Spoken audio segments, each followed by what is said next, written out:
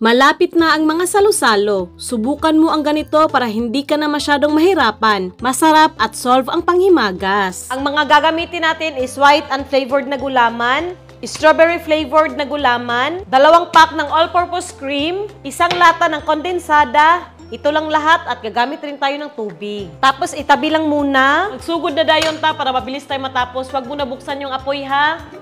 Dalawang tasang tubig. Yan. Strawberry flavor to na gulaman ha. Dalawang kutsara. Okay. Paghaluin muna. Binuksan ko na ang lata ng kondensada. Kukuha tayo ng dalawang kutsara. Mm. Para may tamis at mas creamy. Tapos haluin ulit. Ganito na halong-halo na no. Buksan na natin ang apoy. Medium fire lang. Tapos haluin natin to hanggang kumulo. Ganito na medyo kumukulo na oh. Okay na to. Tapos ibuhos lang sa container na gusto nyo. Yan. Mmm. Amoy gatas at strawberry. Napakainit pa nito, so hayaan lang muna natin dito. Ito na hindi na mainit, ilagay lang natin sa ref para tuluyang mag-firm. At ito na firm na, durugin natin gamit ang ating kamay. Charot. Hiwain natin to ng pa-cubes. Pa-cubes, guys. Yan oh. Tapos tabi lang muna sa bowl yung dalawang pack ng all-purpose cream. Pwede kahit hindi chilled ha. Tapos yung condensed na bawas na ng dalawang kutsara.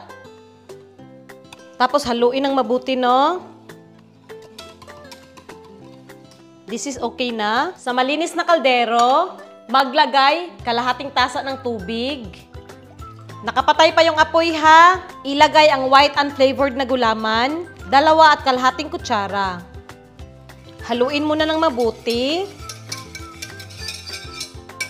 Sindihan na natin, katamtamang apoy lang. Tapos ukayin natin to hanggang uminit. Hindi na kailangan kumulo ha, basta uminit lang, okay na to. Patayin na yung apoy. At dahan-dahan na nating ihalo ang cream mixture.